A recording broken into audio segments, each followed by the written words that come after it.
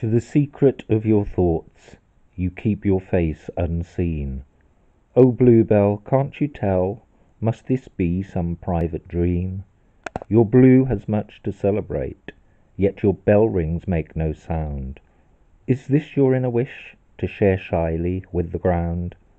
I can't deflower your mystery, To your nature you are true, Yet the power of your beauty Might mean you've suffered too. Let the heavens weep, and the healing rains send To your little face as shining, And the grass, your only friend. Nature had much faith in the nature of your hue, That despite your many bells Her secret's safe with you.